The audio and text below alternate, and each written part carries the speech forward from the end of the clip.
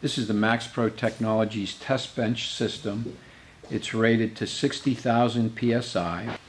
Um, first I'm going to show you um, just how to install it and hook up all the air and water. So if we could walk around here. This is just simple hookup with air pressure, uh, 100 psi max, um, water inlet, which is um, 100 psi max, um, and then just the standard electrical cord, 120 volt, uh, 60 hertz. And now um, I'm going to show you where we put our test piece in. This is the cylinder that we unlock, the chamber door that opens up. And this is where your outlet pressure would come. It's a standard quarter inch high pressure cone and threaded fitting. And the test piece, of course, would go in the chamber. We have some unistrut down here if you want to mount something to that. So once we install the test subject into the chamber, we would close the doors or by closing this and then moving it to the lock position.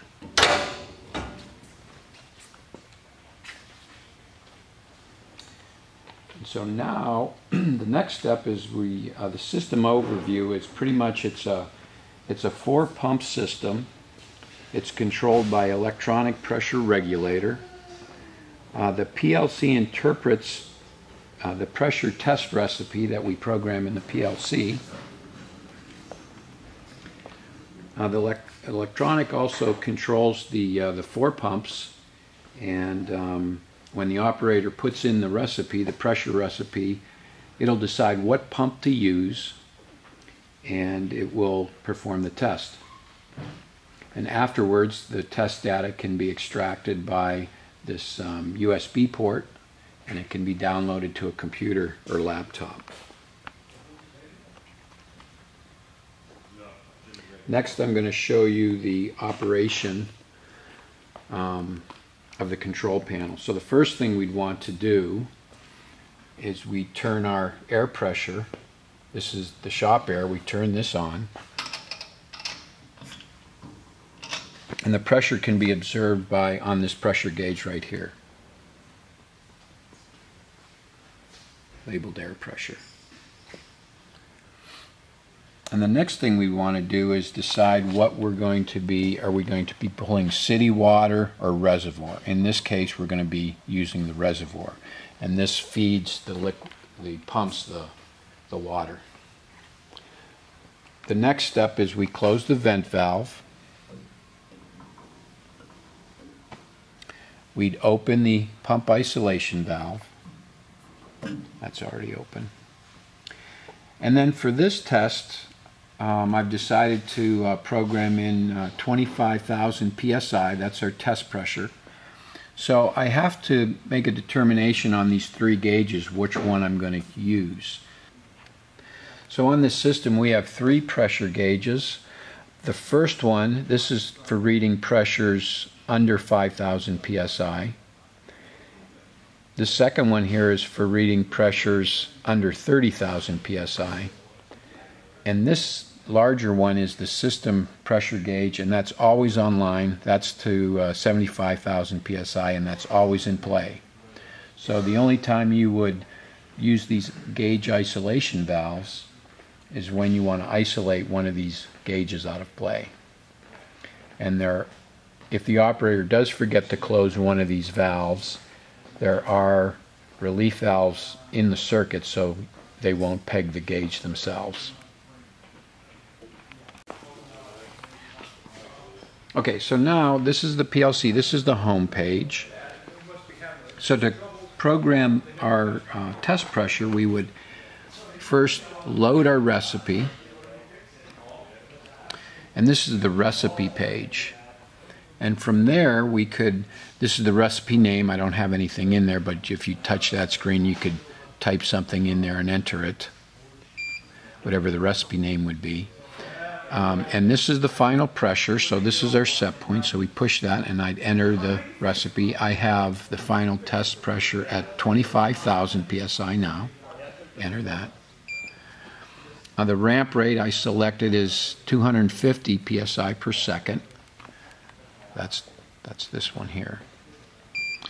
And the dwell time for this test is 20 seconds. So that's what the test will stable out at. And once we have that program, we push this button called Load Selected Recipe. So it's loaded. To switch back to my home screen, I would hit press the Done button. Okay, to start the test, I would hit the green button, which is the start. Um, to, um, just to show you the home screen, you can hold at any time you can press hold and it would hold the cycle, stop the cycle if you want to hold it. The stop button, if you want to stop the test, you could press stop and it would stop the test. This data transfer up here, that's for the report and logging option. And these navigation buttons down here this is the trend screen. If I push that, that's the trend screen. That shows pressure versus um, time.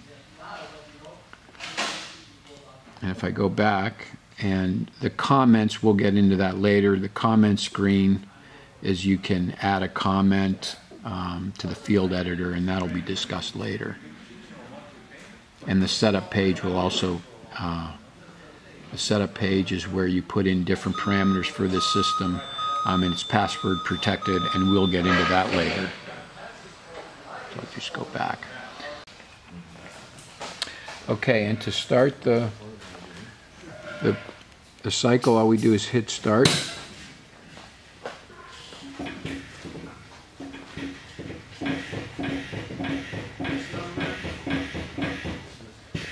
And as it ramps up,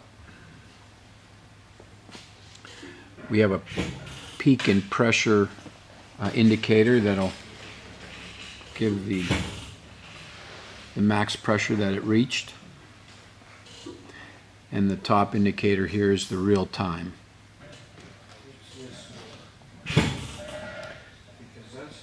The trend button here, we can push the trend button and we can see the pressure versus time graph pumps, TPs. Okay. So, as soon as Chris gets here, we'll.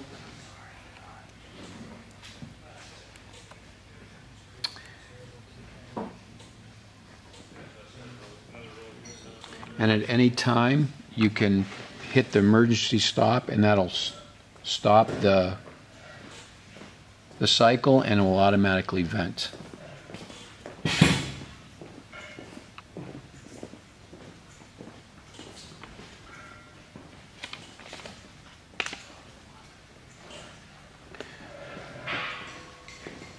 Now this pressure was 25,000 psi and we're still reaching it.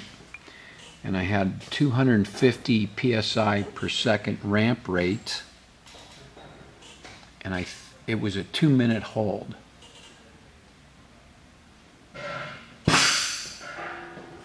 So we've reached our set point. And I believe it was only a 30 second dwell. So I'm, the dwell is 30 seconds. Now at this time, the program is recording pressure loss, and we should get a pass-fail window, and there is the pass. That is the screen you'll see when you've got a, you completed a pass test to continue, all you, you hit continue, and you can unlock and put your next, next test fixture in. To, um, to extract the data from this PLC, you would use the transfer and log buttons up here, and that can be viewed from our standard pressure logger that's on our website. If you go to maxprotech.com and press the, re, the resource tab, go to videos, and under data logger video is where you can um, learn more about those screens and how to extract the data. Um, we have two reservoirs in it. This is the waste reservoir here. It can be emptied by this ball valve. And these front panels and side panels come off.